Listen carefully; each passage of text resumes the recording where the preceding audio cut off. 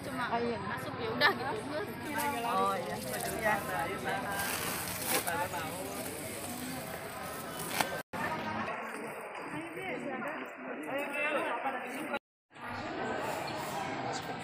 Langsung sepadan sila A, Pak, kita jaga. Empat dua empat, kosong tiga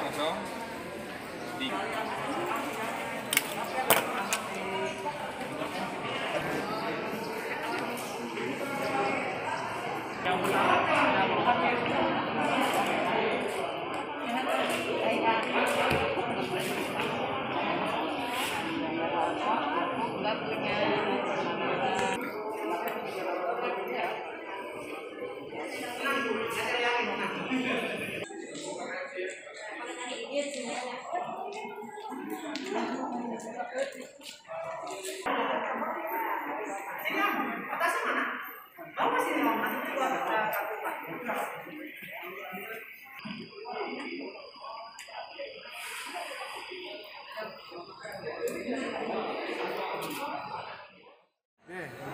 pertama saya mengucapkan terima kasih kepada Pak Wakil Bupati, eh, Pak Kapolres, Pak dan juga. Yang pertama maksud dan tujuan kita yang ke sini adalah yang pertama mensukseskan Ya. program daripada pemerintah untuk kegiatan vaksinasi, begitupun program bakti sosial.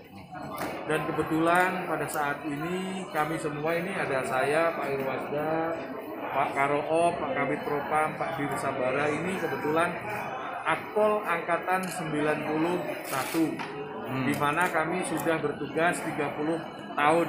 Makanya kami memanfaatkan waktu ini selain mensukseskan kegiatan gebrak vaksinasi, juga kita akan eh, berbagi sumbangsih lah dalam rangka 30 tahun eh, Akpol 91 eh, mengabdi di wilayah Banten.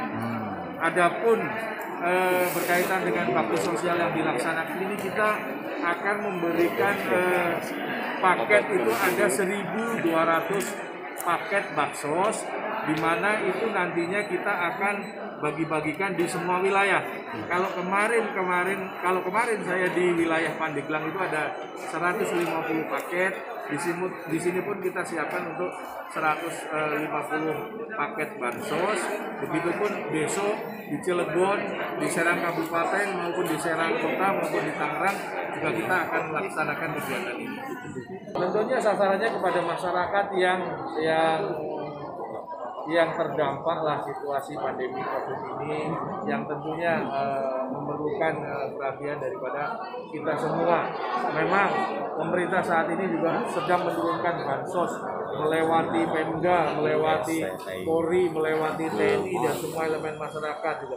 Cuman kami dari Angkatan 90 juga ingin meramaikan kegiatan eh, bansos ini dengan eh, kita berbagi